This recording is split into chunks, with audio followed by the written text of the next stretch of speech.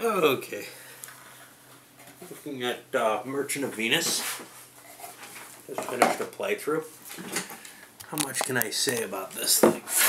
Uh, well, very obviously, uh, from my playthrough, especially the early part where my hatred of counting came through so strongly. This is uh, not a game that I enjoy playing solitaire. I even have trouble with it opposed. Uh, poor shirt. Um, the washing machine's fault. I have uh, basically have to sit down and say, okay, I'm just playing this for fun. Uh, I'm not going to try to compete too seriously in this because what, what's going to happen is I'm going to get stuck in these AP cycles where I can't figure out, you know, which way to move or whatever because of all the counting involved. I'm very bad with counting. Taking classes on counting, uh, they haven't seemed to help somehow. Anyway, uh, I have nothing I can say about the, the new edition. If you're interested in that, you should be getting close to that in the classic there's, uh, from my understanding, a classic version of the new edition. So you should be getting close to my experiences on that. I think they may have left out the combat though, which, you know, honestly, every time we played it opposed, we played it once, I think, with combat and nobody used it. and from then on, we just said it's not worth explaining these rules that nobody's going to use. You could see in my playthrough, it barely got used. There was one attempt in three or four places where people were thinking about it. Component wise, well, the board is functional. It is part of the confusion problem, but I can't think of a way to do it better. There's something very clever about the way the movement circles are done and that navigation cycling and everything, and I wouldn't want to take that away from the game uh, by any means, even if it's a pain in the ass. Uh, but it is part of the charm of the game is that you can't just say, "Oh, I can move this. I, am going to be moving six spaces in this direction," like you would in say Rail Baron or or whatever. Instead, here you don't know exactly how far you're going or whether you're going to make it or whatever because of the dice element element of chance, etc.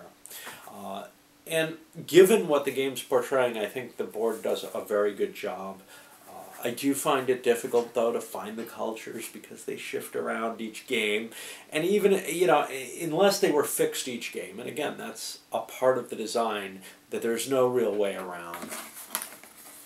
But adds to the irritation factor for someone like me who has trouble with that. Uh, the little player aid cards, etc. Everybody gets their own card with all the prices of everything on it, and uh, all the different kinds of ships, etc. Very very helpful there the little ships themselves are cute and cool and give you something to kind of look at while you're trying to avoid thinking about your turn. Uh, paper money, standard quality. It's decent. I mean, it, it, really is, but nothing good to say there particularly. Uh, the counters are all very good, but man, are they a nightmare to sort uh, you have to make a choice. You know how much how much do you pre-sort the game before when you when you take it down? And this is one of those games. Titan's another one where I have to really sort the game into very heavily uh, between plays, as it were. So teardown is very expensive on this one, and still, even so, you got to still sort. Yeah, I guess I could have a bag for each different uh, culture but the way I do it, I've got all the cultures together, so that still requires some sorting, which would happen at one point or another in the game thing because everything gets jumbled together. All the goods and the uh, and the bonuses get jumbled together. Uh, just as an afterthought for the game I just played, one I looked through uh, all the unknown asteroids. There were maybe four that nobody had explored, although somebody may have spy-eyed them. Uh, one of them was interesting. It was a relic uh, yellow drive, I think. You know, an extra drive that you don't have to put on your ship, that's a bonus, no question, if it doesn't take up any hold space. Um, but yeah, so many relics had come out that people weren't really hunting for them. If there weren't many relics out, people might have been hunting for them. Some of the people with, uh, this should be in the wrap, but you know, some of the people, you get what you pay for, right? Uh, some of the people with, uh, like the jump start or uh, the autopilot, and that was one person in my game who had both. That's somebody who might be interested in hunting these things down for additional telegates. But for the most part, it looked like a lot of the relics were in play. Each player has their own little counter mix, that's fine. Everything's fine there. Uh, but the rule book. Uh, well, the rule book comes with these quick play instructions, which kind of jump you into the game real quick and give you everything that you need to know. But the reality is, if you actually want to play, you probably do need to read the actual rule book. And it's not terribly well organized in my book. Uh, maybe the, the later edition is. I just, I find it, I didn't find it trivial coming back to it to look over and quickly understand it, which is why the introduction was so crappy, actually. Well, I mean, other than me. Um, but what do I think about this game? Because it's kind of a weird situation. It's to me, it fits kind of with that in terms of how I approach it with uh, Age of Renaissance, which is wow, this is a game that I will never be able to play really well competitively. Uh, I can play, I think, okay in the game. But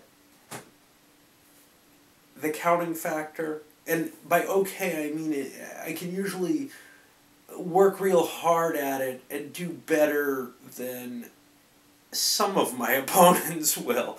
But it's really unlikely that I'd ever be able to walk out winning a game of this, which is okay in and of itself, except for I don't really want to expend that kind of energy when I know I can't win the game. So I, it's going to infuriate me with the counting and everything, and just be this tremendous headache.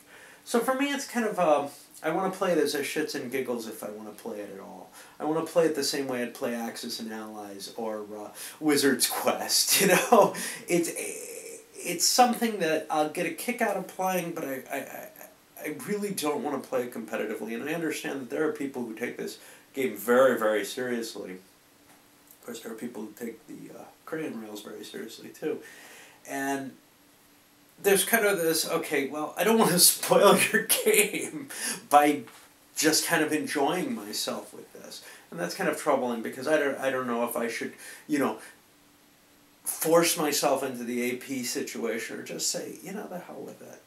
I can get a kick out of sailing around, seeing what I find, and then trying to guess whether I can get to a route. And oh shit, I didn't make it. I got a bad turn. Uh, and maybe I'll get lucky, and and and that uh, I'll certainly have a better time, and probably everybody else will too. Uh, but it's hard for me to put myself in that that situation because I'm playing games with the feeling that I should be really trying to win even if winning isn't necessarily the biggest thing for me. Anyway, uh, that's kind of where it puts it for me. However, when I look at the game itself, there's so much cleverness in it. You know, the whole, uh, when you start to look at, say, how supply and demand is handled in it, my first thought is, ah, shit, come on, you know, there's nothing here. But the truth of the matter is, as you deliver things, the demand is going down in the places you're delivering it to. It's likely rising, although you don't have a lot of control over it. It's a nice little mechanism for doing that without, you know, die rolls every turn, etc.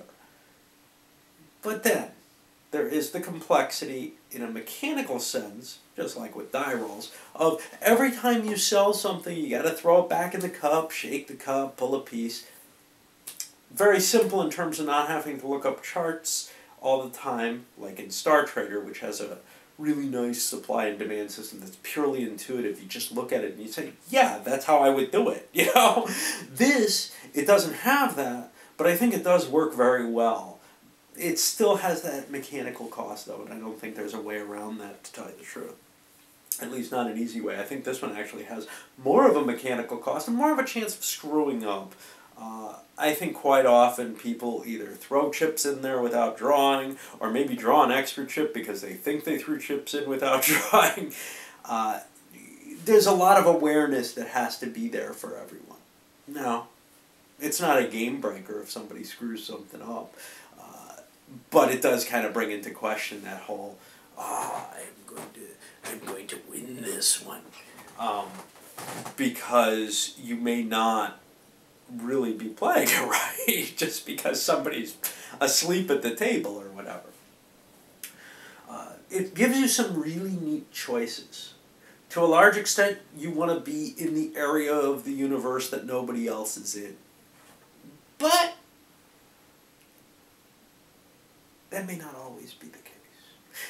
Uh, why is that not the case? Well, one reason is the combat rules. If you're playing with those, hanging around with other people when you're the most heavily armed ship around gives you some slight extra advantages. Now, I've never seen anybody playing that way because the truth is, early on, you end up not being able to afford weaponry really, except what you need to get through the asteroids in terms of shields or whatever.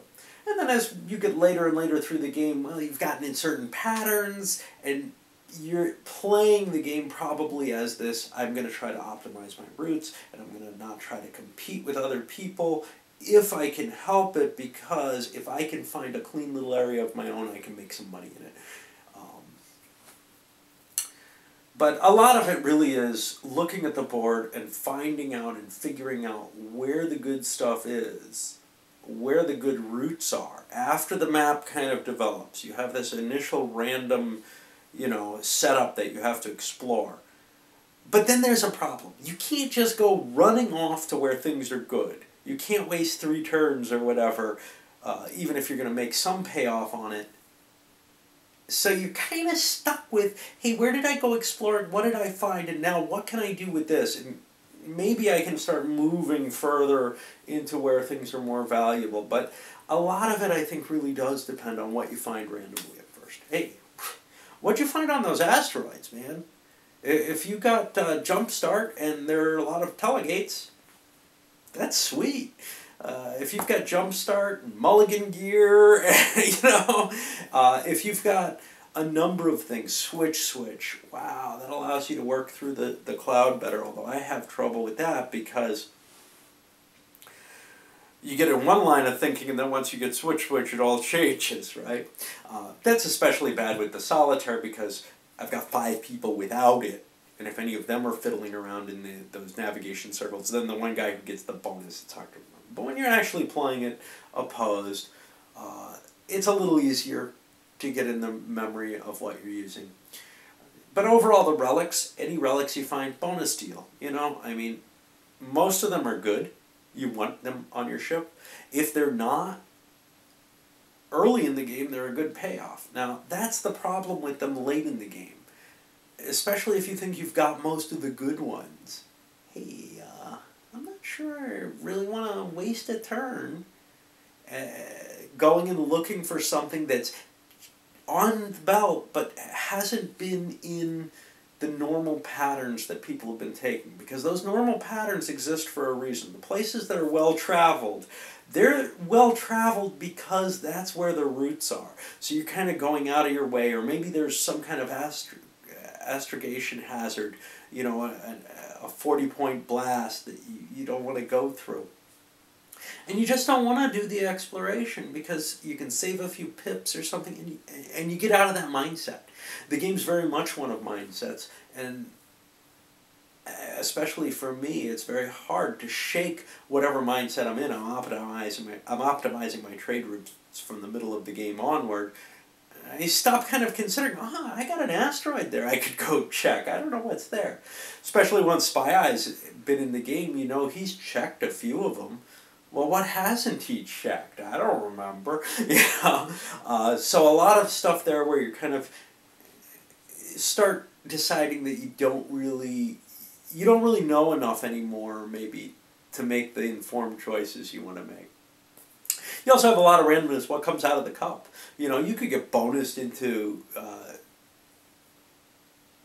stuff just keeping your route alive just by random chance. We see that happen I think, in the game that I ha- had going, where someone, you know, was running a little route, thought they had panned it out, they get to go around again. and then they get to go around again because someone else just keeps drawing enough stuff. Now that's a lot harder when you got the big ships, and the big ships is the hard choice to make. You know you can haul more stuff. That first big ship you get, you know, you know, you're looking, you're saying, ah, I four things here and then five here. Wow. You're gonna go slower, okay. But what you may forget is that the market gets tapped out much quicker. Uh, so yeah, you know, you use your little route, but then it's burned, and now you've got a slow ship, and you've got to go someplace further from your little route, and that's kind of a, a tough thing. Of course, you can fix that, especially with a huge two die ship, uh, by getting, you know, putting a drive or two drives inside uh, inside your hold. Um, you still come out with an extra hold that way, and your movement tends to be better, but you have less navigation options because you have less dice that you're rolling. Relics here are great.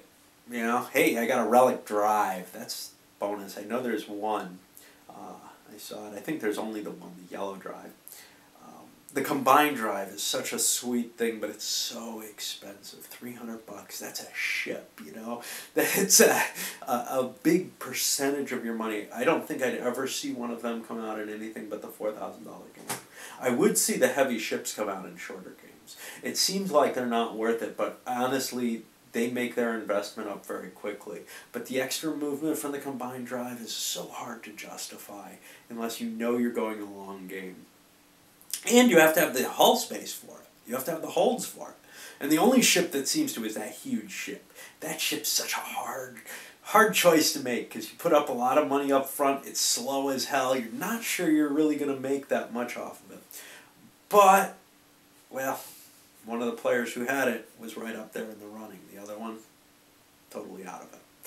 Uh, but anyway, you know, I mean, lots and lots of options here, lots of different choices as to, you know, how you want to go about your routes. Do you want to be the guy who chases down the uh, uh, the bonuses?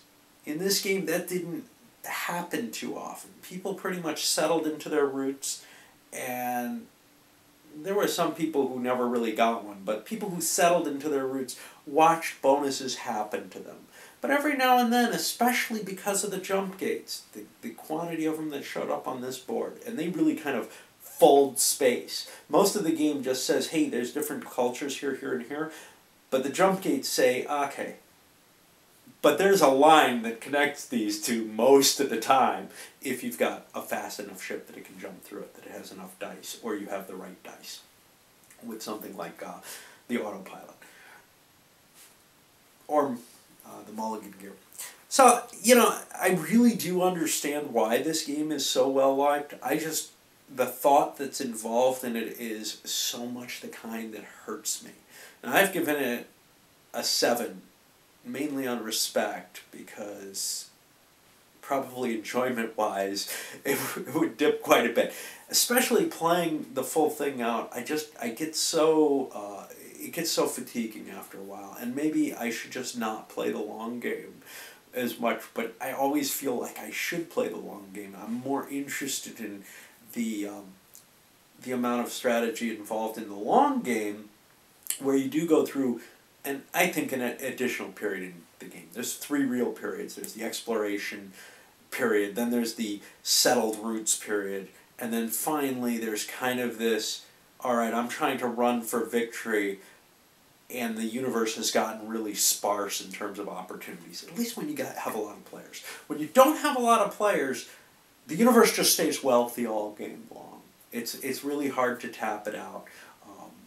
Of course, less stuff's getting drawn, so you're getting less replenishment, but the commodities sort of stay there to larger extents, and you can find new areas where there's a lot of riches. Even if you tap out your area, you can find a new one fairly easily and run it for a while. I think you'd probably have more problems with that if you, you started using the heavy ships.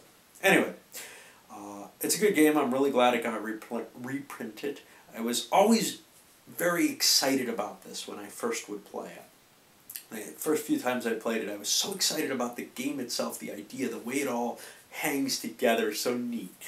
Uh, but my experience of enjoyment of it was always a disappointment at the end of the whole thing, just in terms of the amount of effort that one has to put it, that I have to put in, in order to be competitive in it, that it kind of soured the whole whole thing on me uh, a good deal. But and it obviously is not the best game to so- solo, and it's particularly uninteresting. I think videoing. I'm impressed. Anybody who watched uh, all the videos, I, I, I have to give you a big hand because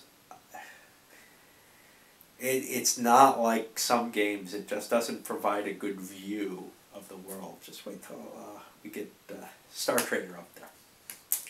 That's a good space uh, trading game. And I've got a couple others that I haven't seen yet uh, on the line. Like, I've heard some really interesting things about this. I don't know if I'm going to be able to do this on a video. Maybe I've heard it's all paperwork. All right, up it goes.